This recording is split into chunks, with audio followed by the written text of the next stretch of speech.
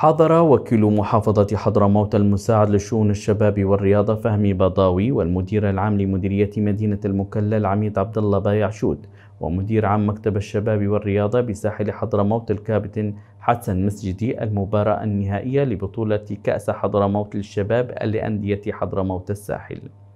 المباراة التي احتضنها ملعب الفقيد باراد بالمكلا جمعت بين نادي تضامن حضرموت ونادي وحدة شحير.